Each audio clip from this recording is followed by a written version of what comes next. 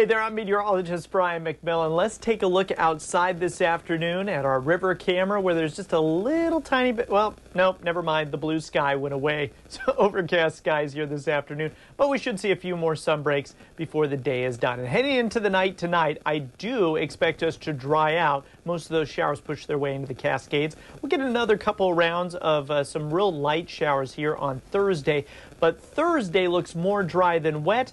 That's the same story for Friday as well. Remember, you can always check out an updated seven day forecast at kptv.com or on the brand new Fox 12 app.